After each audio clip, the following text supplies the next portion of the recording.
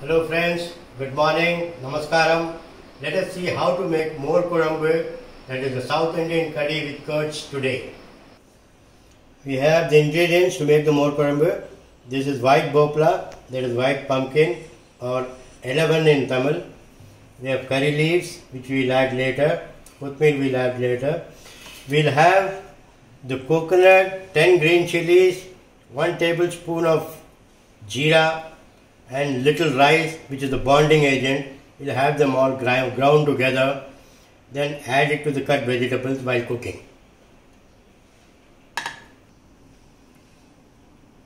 We'll chop up the skin of the white bhopla or the eleven and we'll also chop up the seed part to make the mor kuzhambu and then, then cut them into pieces. I have kept some water in the pan that is a deep frying pan to boil the vegetables to make the mor kuzhambu or the South Indian Madrasi curry. I have got fresh coconut and some red chilies, some, green chilies, sorry. Again you do Subha. Delete. I have taken fresh coconut, some 10 green chilies, 2 tablespoons of rice which is a bonding agent and I have also got some jeera. I'll grind, wet grind them in the mixer now. Now we will add some water to grind it into a fine paste. Now I am adding half kg or half liter curds which will be beaten in the mixer for making the mor kuzhambu or the South Indian curry. I am adding a small teaspoon that is half a teaspoon of haldi powder. Now I'll add salt for taste, salt to taste.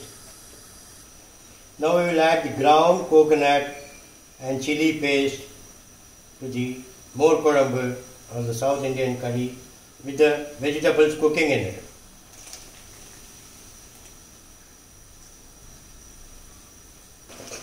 Hmm. We have added the ground coconut paste to the vegetable that is the pumpkin, white pumpkin, safed bhopla. We are waiting for this to cook. While cooking, we'll add some fresh coriander and we'll also add some fresh coriander at the end of making the curry. We'll also have some add some curry leaves to the curry. Now the vegetables cooked well, we will add the buttermilk which is ground once in the mixie to this vegetable to make the mor kuzhambu, the madrasi curry. And switch off the gas. I have switched off the gas because otherwise the buttermilk that is the tak or the more will give way. So that it bonds well. So I have switched off the gas and now I am mixing them. The mor kuzhambu is ready. Now we will give try tadka. Now the curry is ready. We'll add some fresh coriander to garnish I've got the tadka getting ready. Some oil. Add some. Now we have the oil getting ready for the tadka. We'll give a tadka with mustard seeds rice and some thing that is asafetida mor kuzhambu is ready now to be served